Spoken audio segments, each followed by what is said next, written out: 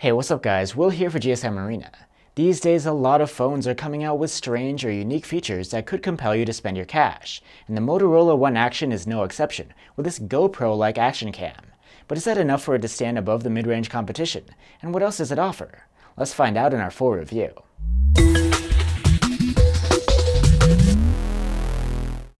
As far as looks go, the Motorola One Action isn't too surprising.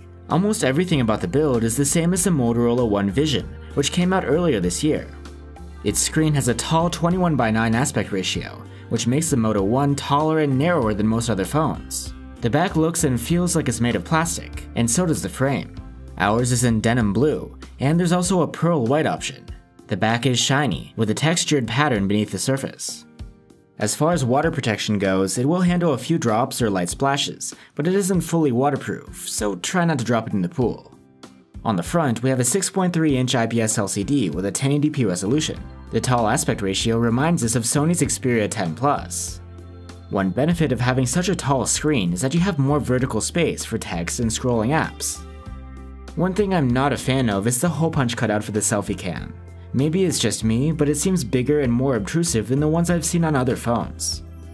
You can select from a variety of options to try and hide it, but these don't make much sense at all, either applying a huge black bar across the top of the display, or applying a black area to a few other spots, for balance I guess. We also noticed light bleed around the hole punch and around the bottom bezel. Content looks pretty sharp on this screen at around 430 ppi, but the other aspects of the display didn't impress us. We've seen better contrast on other LCDs, and colors aren't particularly accurate either, regardless of which color mode you choose. The screen's brightness is decent though, at a maximum of 460 nits. Since it's an LCD, there's no always on display, and there's no notification LED either. You'll have to catch the notification as it comes in and lights up the display, or wake up the phone periodically to check what's going on. Waking up and unlocking the phone is quite comfortable though, with the rear-mounted fingerprint scanner. Its placement is good, and is pretty responsive and accurate. The Face Unlock feature is another option for unlocking, but it's not as secure. The Moto One Action has a single loudspeaker on the bottom. Sound quality is decent, and it scored a very good rating on our loudness test.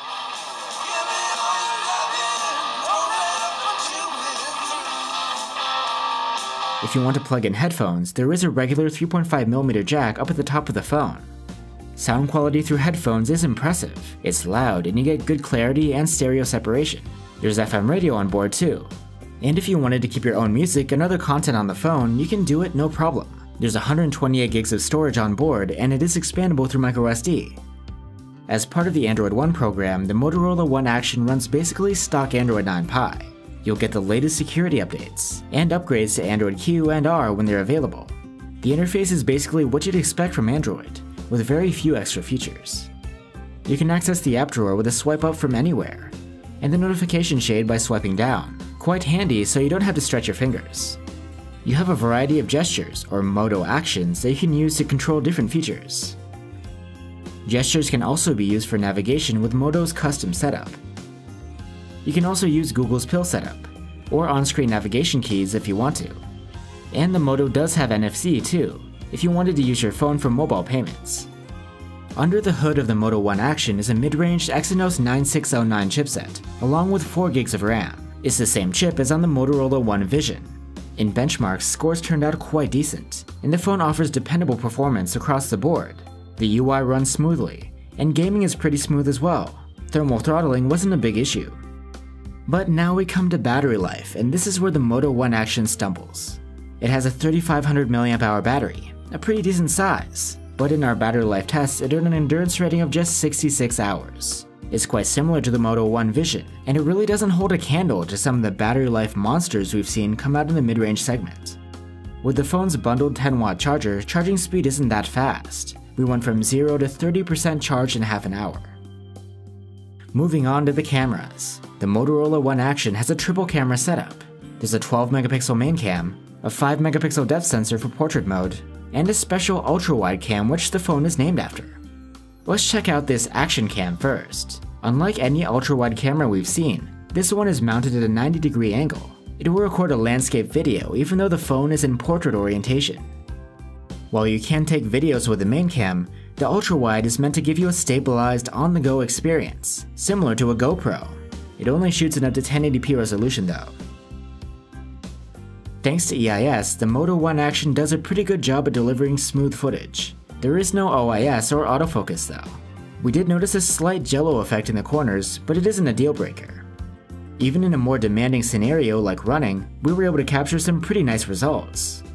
As far as quality goes, it's overall quite good.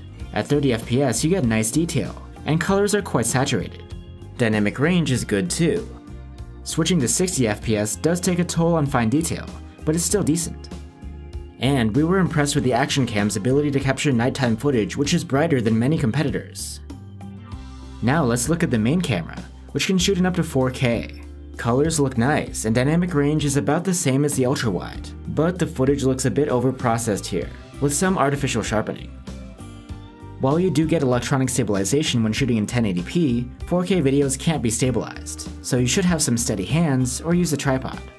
Now let's look at regular daylight still photos with the main camera. These look alright. Detail is decent and noise is well controlled, and dynamic range is pretty wide. Colors tend to look dull and muted. Unfortunately, you can't shoot photos with the ultra-wide action camera. It's only used for video recording. You can take screenshots while filming though, which come out at 3 megapixels. Portraits taken with the main cam and the depth sensor look decent. The results have good subject separation, though there are occasional imperfections as you'd expect. In low light, photos don't impress. They're generally soft, with washed out colors and some visible noise. Dynamic range isn't as wide as during the day, and you'll end up with some clipped highlights. And there's no night mode here to help things out. The One Action has a 12 megapixel selfie cam, which takes really nice shots in good light. They have great detail and spot on skin tones. Dynamic range could be wider though, and sometimes you come out underexposed if there's a backlit scene. You can take 4K selfie videos, which would be great if you want to do some vlogging, except these don't have stabilization. They're nice and detailed, but dynamic range is a bit narrow, and you have to hold the phone the right distance away to be in the sharpest focus. So that's the Motorola One Action.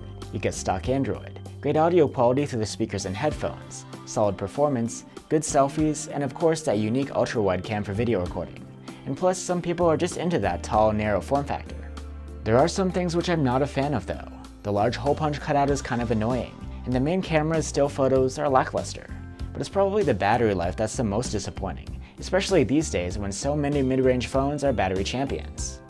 Overall, the Moto One Action isn't a bad phone, and its price is competitive at around 250 euros. But those downsides I mentioned could be a deal breaker for a lot of people, and you can get ultra-wide cameras on many other phones, just not rotated. That makes it kind of hard to recommend this one. Thanks for watching guys, and see you next time.